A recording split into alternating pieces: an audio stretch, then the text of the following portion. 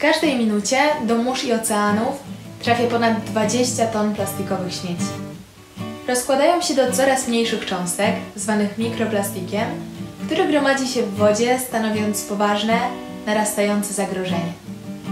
Znajdujemy go na przykład w kosmetykach, ubraniach, pożywieniu czy napojach. Przenika nawet do naszego organizmu i może przyczynić się chociażby do zaburzeń gospodarki hormonalnej, rozwoju nowotworów czy problemów z układem pokarmowym. Na rynku brakuje ogólnodostępnych rozwiązań, które pozwoliłyby na skuteczne i tanie oczyszczanie różnego rodzaju wód z tak małych zanieczyszczeń. Co więcej, szacuje się nawet, że jeśli teraz nic z tym nie zrobimy, to już za 30 lat dojdzie do sytuacji, w której w morzach i oceanach znajdziemy więcej plastiku niż ryb. Temat ten bardzo nas zainteresował, dlatego my, cztery licealistki z różnych części Polski, stworzyłyśmy Aqua Collector, czyli przenośne urządzenie do zbierania i utylizacji zanieczyszczeń syntetycznych z akwenu. Opiekunami projektu są dr inżynier Agnieszka Pręgowska i dr Magdalena Osial. Obecnie posiadamy dwie wersje naszego urządzenia. Pierwsza przystosowana jest do wód płynących, takich jak rzeki, kanały, z możliwością montażu na statkach czy łodziach.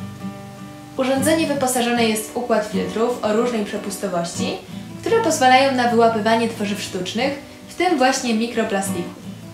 Wszystko po to, aby skutecznie, ekonomicznie i łatwo oczyścić wodę z plastikowych polimerów. Wersja ta wyróżnia się dużą mobilnością, niskim kosztem oraz prostą obsługą.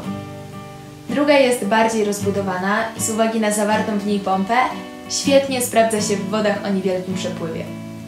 Ze względu na to, że korzystamy z rozwiązań ekologicznych, pompa zasilana jest energią wytwarzaną przez panele fotowoltaiczne. Urządzenie jest również kompatybilne z naszą aplikacją mobilną, w której użytkownik może m.in. śledzić jego lokalizację czy kontrolować stopień zapychania się filtrów. Na tym oczywiście nie poprzestajemy i cały czas rozwijamy nasz projekt.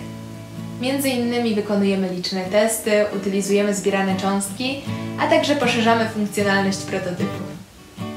Co więcej, już teraz możemy pochwalić się dużym zainteresowaniem ze strony społeczeństwa, a biorąc pod uwagę wyniki wstępnych testów, jesteśmy pewne, że Aqua Collector przyczyni się do poprawy jakości wód.